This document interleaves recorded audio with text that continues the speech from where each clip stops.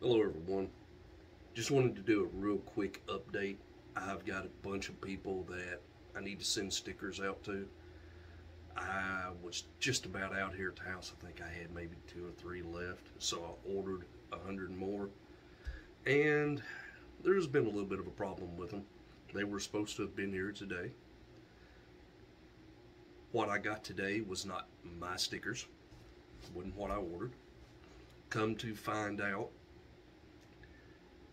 whoever packed the stickers sent me a gentleman's stickers from Pennsylvania and put my stickers in with his and sent them to him. So we are in the process of getting the stickers sorted out and sent to each other. So hopefully I'll get those maybe Tuesday, Wednesday next week and be able to start mailing stickers out to everyone.